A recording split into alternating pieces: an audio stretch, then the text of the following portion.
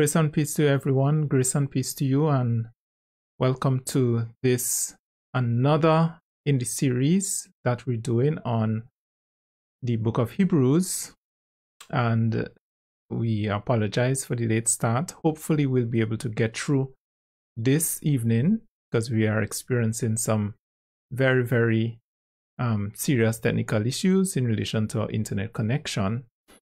But let me say on from the outset, if we do not get through this evening, I will be pre-recording the remainder of the studies in the series so that they can be premiered right here on Facebook.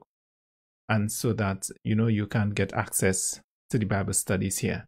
So once more, my name is Brother Shefflon Valentine of the Thusia Seventh day Adventist Church. And before we go any further, let us begin with a word of prayer.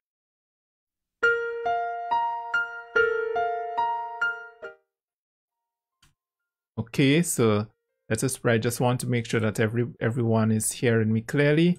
Grace and peace, grace and peace, everybody. So let us begin with a word of prayer. Loving Father, thank you so much for helping us throughout uh, the past first day of this working week. We thank you for your love towards us, for the convictions of truth you've placed upon our hearts. And we pray for your convictions tonight. Remove from us all idle values. Grant us absolute humility before your throne. And help us, dear Father, as we understand these truths concerning the plan of salvation. Help us to accept the character of Christ in us so that we can have the divine nature to be saved from our sins. This I pray with much thanksgiving unto thee in Jesus' name. Amen. Okay, brethren, so for those who are now coming on, uh, my name is Brother Shefflon Valentine from the Thusia Seventh day Adventist Church. We ha- have been having some technical difficulties over the past few weeks, and we want to assure you that even if we encounter technical difficulties this evening where this study is abruptly brought to an end because of internet issues, we will be pre recording these studies and posting them for your benefit by God's grace. All right.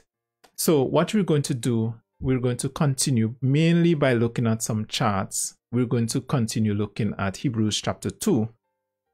Uh, we started looking at it last week, and the topic, as you can see, there is Jesus was also man in sinful flesh and we're going to focus in a bit on the fact that Jesus Christ had sinful human flesh. Jesus Christ had sinful human flesh. So please share this live. Please share the live. Um, and let persons as much as possible benefit from this evening's Bible study. All right. So let's get straight into the scriptures. One time, there are some quotations that I also want to share with you. Something needs to be understood very early, even as we re enter into the scriptures again. You will recall that last week we began by seeing, in fact, Jesus Christ came in sinful human flesh, and we saw that by looking at Hebrews chapter 2. We are looking at Hebrews chapter 2 this evening, basically to wrap up this chapter with some additional scriptures as well as um, as well as some quotations. This understanding of the sinful flesh of Jesus Christ is so important because it is the true understanding concerning Yahweh in sinful human flesh that gives us the understanding of the incarnation and that makes it possible for us to be sin free, for us to be obedient to the commandments of God. Because the original attack against Yahweh was from Lucifer, who wanted to be God with God. And one of his claims, one of his, one of his charges against Yahweh was that man cannot obey the commandments he said very early that man could not be obedient to the Ten Commandments. And that was one of the charges that he brought against Yahweh. And what Yahweh did, in a very beautiful way, Yahweh proved that man can live sin free. Yahweh came in sinful human flesh.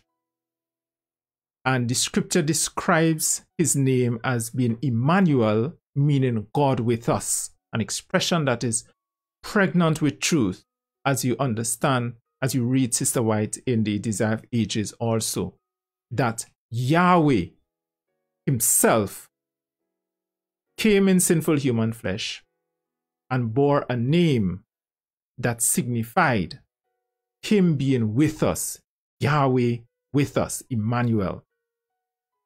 And so I want to share with you, continuing from last week, some, some scriptures right here in Hebrews chapter 2. So let's go back to Hebrews chapter 2 and let's look at verse 14. So we begin at verse 14. Here's what the Bible tells us it says, For as much then as the children are partakers of flesh and blood, he also himself likewise took part of the same.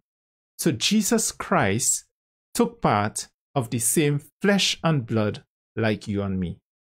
It means then that he had sinful human flesh because the scripture tells us that he partook of the flesh and blood of the children. When we read last week, we saw that the children are referring to the children of Adam, all of whom were born in sinful human flesh. So then, when the Bible tells us, with a reference to the children, that Jesus partook of the same flesh and blood as the children, it is simply telling us that he had the same flesh and blood like you and I. Now, let's look at Romans. So we're